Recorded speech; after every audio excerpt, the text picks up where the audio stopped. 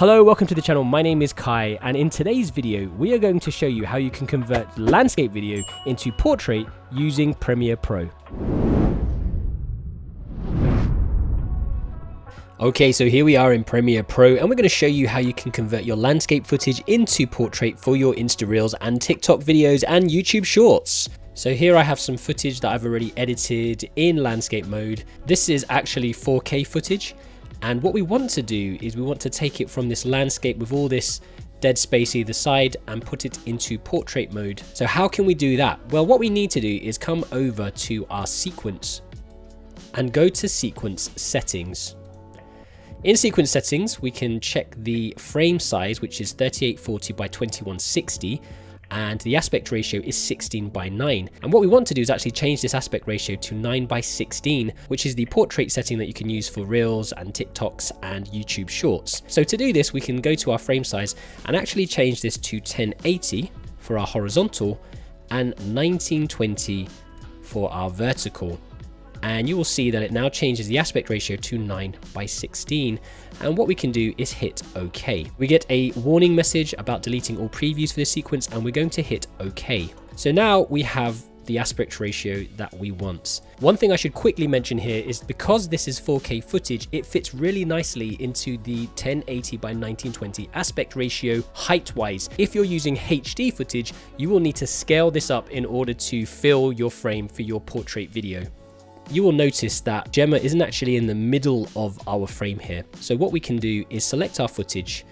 go over to where it says motion and position, and then take the X value and drag it over so that she is now in the middle of the frame at the beginning of our video. And we can go through our footage and correct the position how we want it to look. Again, just selecting the individual footage files and then coming over to motion position and moving the X value over so that it's more central.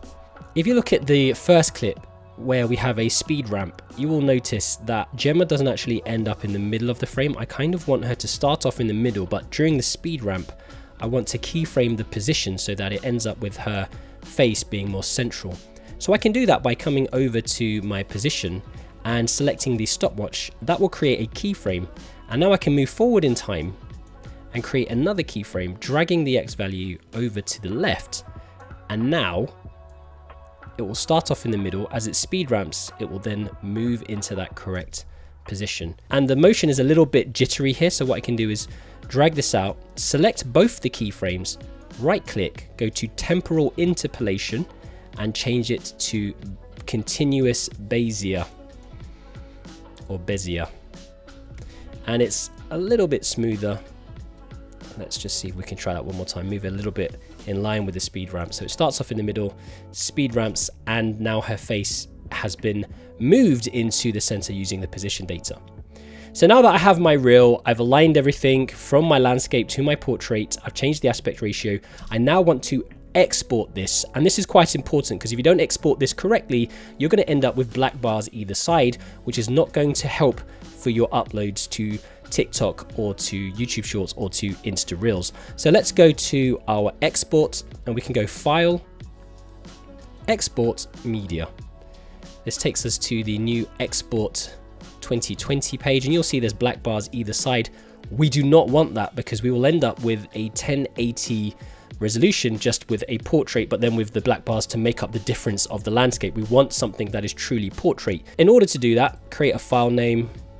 I'm just going to call this Gemma, choose your export folder, that's fine for me. And here is where you want to make the change to your preset.